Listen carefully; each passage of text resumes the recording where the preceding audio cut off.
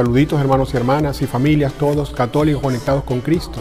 Para mí es una alegría estar aquí compartiendo con ustedes. Y obviamente hoy vamos a hablar acerca del sacramento del bautismo. Vamos a ver qué es el bautizo y qué representa para nosotros los cristianos.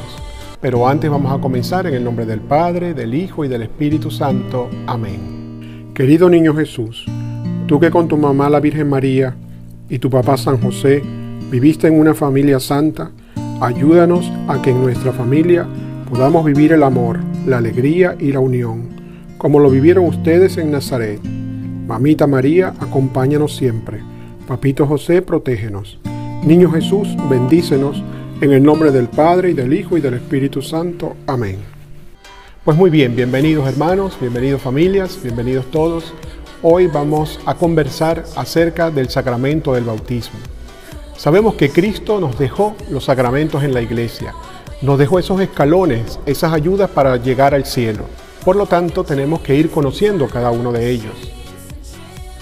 Y hoy vamos a hablar del primero de ellos, que es el bautismo.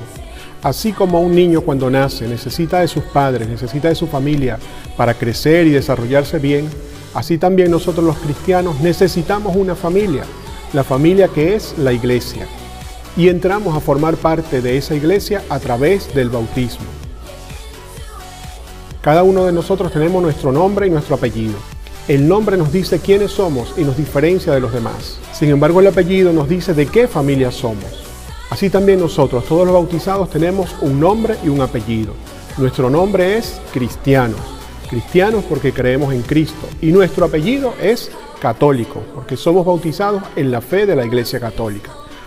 ¿Y por qué es tan importante el bautismo para nosotros? Pues por muchísimas cosas, pero primero tengo que decirte que es importante porque así somos parte de la familia de Dios.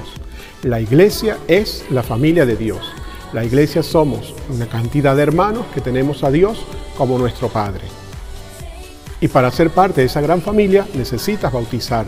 Entonces, primera idea que debemos dejar clara es que la iglesia es la gran familia de Dios. En segundo lugar, para formar parte de esa iglesia necesitas estar bautizado.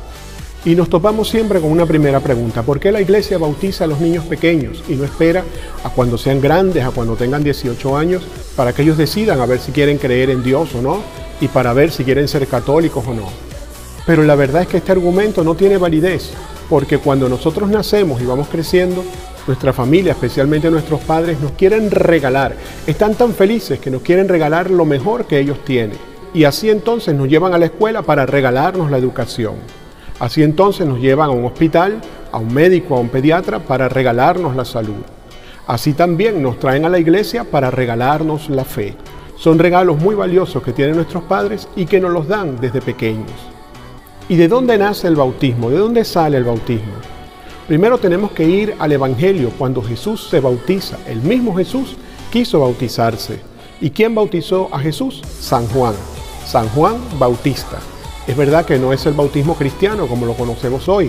San Juan predicaba un bautizo de arrepentimiento nada más.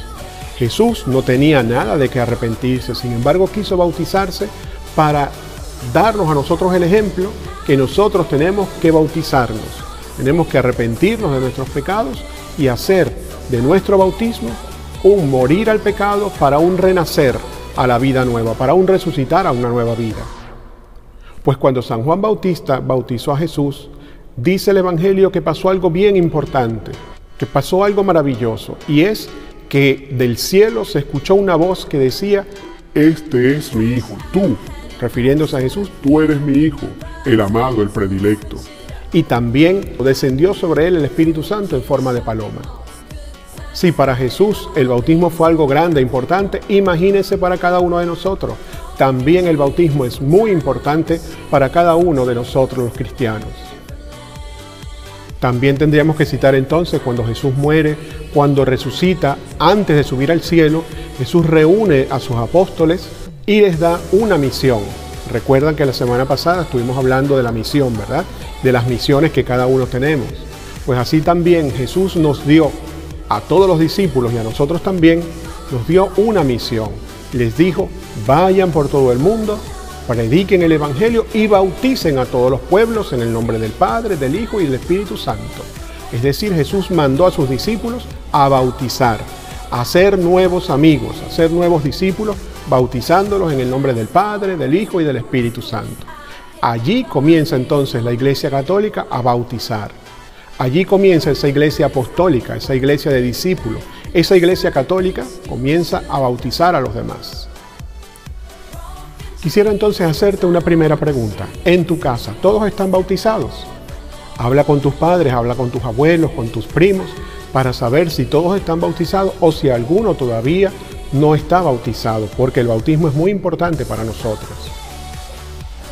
También te invito a que averigües qué día te bautizaron. ¿Tú lo sabes? Necesitamos saber qué día somos bautizados, porque así como tenemos un cumpleaños, que fue el día que nosotros nacimos, Así también nosotros deberíamos saber el día de nuestro bautizo para todos los años celebrar el nacimiento en Cristo, el nacimiento en la vida de gracia, el nacimiento en la iglesia. Yo, por ejemplo, fui bautizado el 10 de marzo del año, mejor no lo digo porque van a saber entonces mi edad, pero fui bautizado un 10 de marzo y de allí ese día es importante para mí. Pues también pregúntale a tus padres qué días te bautizaron para que ese día lo celebres, te comas un buen helado, te comas, vayas y te tomes una buena merienda en nombre del bautizo, en nombre de la gratitud que sientes hacia Dios. Tienes que darle las gracias a Dios porque te ha regalado el bautismo. ¿Y qué hace en nosotros el bautizo? Pues hace cosas muy importantes. Primero, el bautismo nos hace hijos de Dios. Cuando somos bautizados vamos a formar parte de esa familia de Dios y Él nos adopta como sus hijos y nosotros nos convertimos en sus hijos. Sí, aunque no lo creas, solo el bautismo nos hace hijos de Dios. Los niños, las personas que no están bautizadas, son criaturas de Dios, pero todavía no son hijos de Dios. Por eso tenemos que invitar a todos los que no estén bautizados a bautizarse para que sean parte de nuestra gran familia. Y si somos hijos de Dios, nos convertimos automáticamente en hermanos de Jesucristo, porque Jesús es el Hijo de Dios Padre. Y nosotros, al ser hijos de Dios Padre, nos convertimos en hermanos de Dios Hijo, que es Jesucristo, Jesús de Nazaret. Y en tercer lugar también nos convertimos inmediatamente en templos del Espíritu Santo. El Espíritu Santo viene a vivir en nosotros, viene a morar en nuestro corazón. Otro de los aspectos importantes del bautismo es que nos incorpora en la iglesia. Comenzamos a formar parte de nuestra iglesia católica. En tercer lugar, abre para nosotros las puertas del reino de los cielos. Antes de nuestro bautismo se nos habían cerrado las puertas del reino de los cielos por nuestro pecado, por el pecado original. Sin embargo, Jesús, al morir en la cruz, y cuando recibimos nuestro bautismo nos abre nuevamente las puertas del cielo, las puertas del reino de Dios. Por lo tanto, fíjate qué importante y cuántos beneficios, cuántos regalos recibimos el día de nuestro bautizo. Pasamos a ser hijos de Dios, somos hermanos de Cristo, somos templo del Espíritu Santo. También pasamos a formar parte de la iglesia y también se nos abre de par en par las puertas del cielo.